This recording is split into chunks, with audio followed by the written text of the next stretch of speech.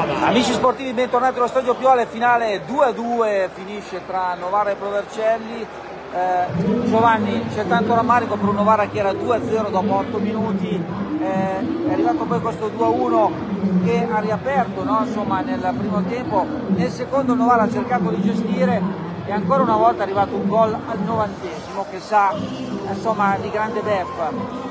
Eh sì, è un pareggio, ma per come era scaturita la partita, per come si era messo il risultato, si potrebbe dire che equivale quasi a una sconfitta. È un peccato perché il Novara era stato bravissimo a indirizzare subito la gara sui binari giusti. Il 2-0 in 8 minuti aveva illuso che si potesse superare anche abbastanza facilmente una difesa, quella vercellese che secondo me non ha dato segnali di solidità poi il Novara si è abbassato troppo. Ha abbassato... intanto io inquadro.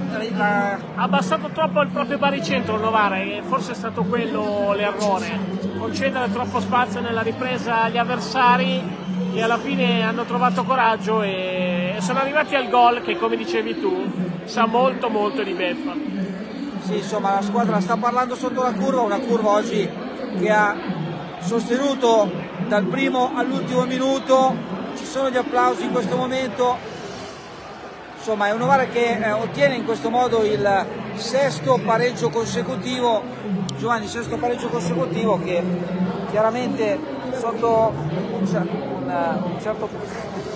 Scusate, sorrido perché ci sono davanti alcuni tifosi che vogliono tenere la bocca cucita e dicono ecco insomma non è caso non, è caso non vogliono poi in realtà parlare, eh, sorriso ma è un sorriso amaro, no Giovanni? Perché... È un sorriso amaro perché, ripeto, sul 2 a 0 tutti noi, tutti i tifosi del Novara chiaramente si auguravano un finale diverso. È un peccato, la strada per la salita di questo Novara resta ancora molto ripida, ricordiamo che in questo turno la Pergolettese ha vinto, quindi sicuramente è ancora molto molto lontano l'obiettivo, o meglio, bisognerà trovare delle vittorie concrete, i tre punti concreti che possano in qualche modo garantire al Novara una, uno slancio in una classifica che è sicuramente ancora molto molto critica. Insomma Filippo, eh, buonasera a tutti. È un 2-2 amarissimo, un po' come l'1-1 contro Renate, un Novara che poteva avere 4 punti in più, ma i due di stasera senza ancora pensare a quelli di Renate sarebbero stati pesantissimi. Sì, eh, diciamo che secondo me questo, nello sport in generale, in questo caso nel calcio, è anche la testa a fare, a fare la differenza.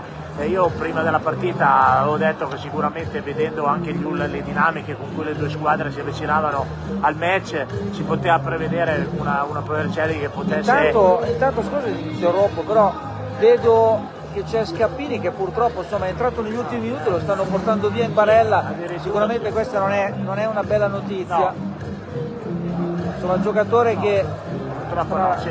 eh, purtroppo sì, è un periodo che gioca, gioca anche, anche, poco, adesso giocando eh, si è anche fatto male, poteva essere adesso non so, non so cosa. Infatti Novara gli ultimissimi minuti, gli ultimi 2-3 minuti del recupero praticamente li ha giocati 10 sì, sì, sì, sì, sì, infatti, no, purtroppo Scappini non è un periodo certamente fortunato per lui perché purtroppo gioca poco e anche adesso giocando poco si è fatto anche male, non so quali, possa, quali possano essere gli esiti, però sì, non riuscendo a, a uscire dalle sue gambe dal campo, con le sue gambe dal campo, ma in barella sicuramente non deve essere qualcosa di, di leggero.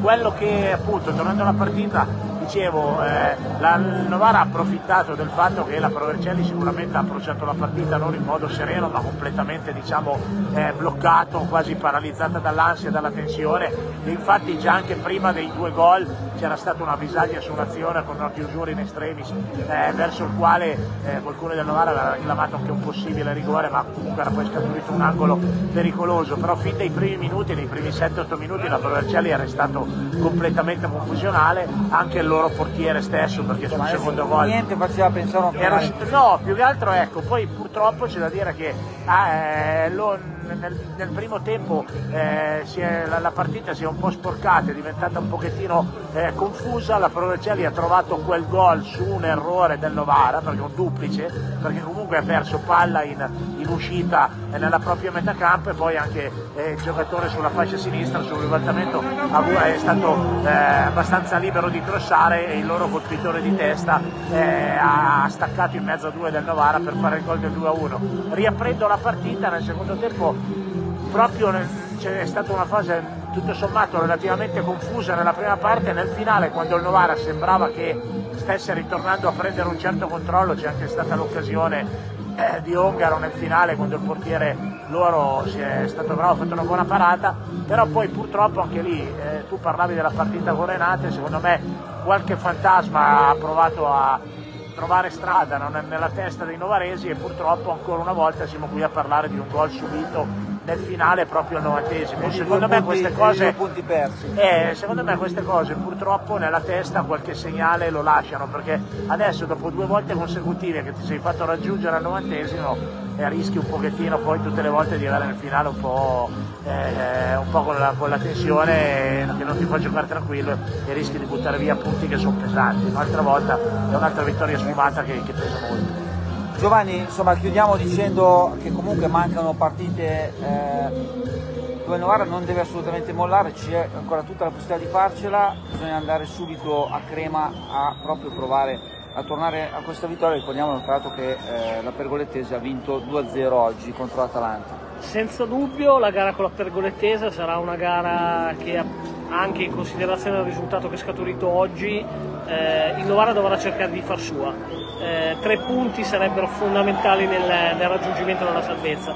Ricordiamo che però il Novara ha altre partite con avversarie dirette praticamente, mi viene in mente Fiorenzuola, il Trento, giusto per, per citarne due.